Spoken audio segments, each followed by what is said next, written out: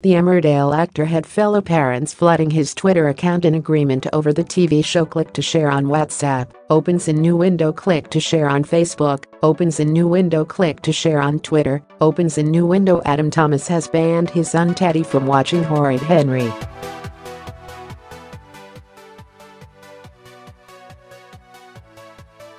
The Emmerdale actor was left unimpressed by his three-year-old's behavior after he watched the popular kids' TV show.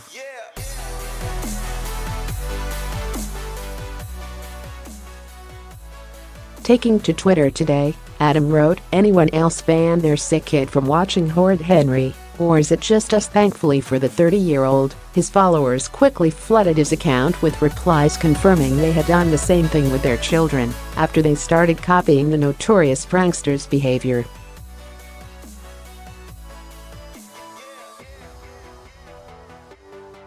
Replying to one comment, Adams said, Ted's literally turned into Horrid Henry haha.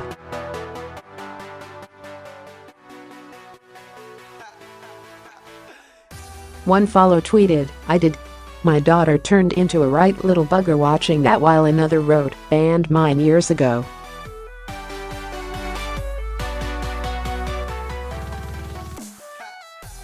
Absolute shit and no moral message whatsoever. Don't even let her touch the books. A third agreed, writing, I had to ban my two as well. It's awful.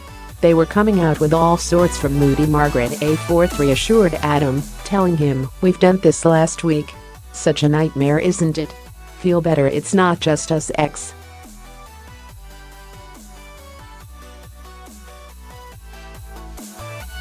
Others regaled the actor with tales of their children's misbehavior, with one writing, me. My daughter put a cup of water on top of the bedroom door and I got absolutely soaked on Sunday. Number no more Horrid Henry.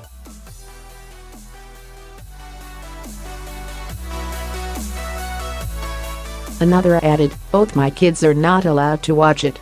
They turn into Horrid Henry so badly it's awful behavior that I can't stand. Horrid Henry is a series of children's books by Francesca Simon with the first story published in 1994.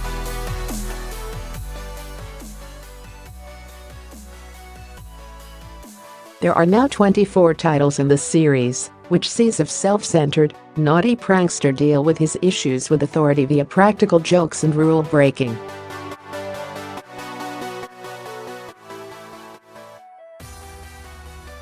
The books were turned into a popular TV show on CITV in 2006 with 208 episodes made.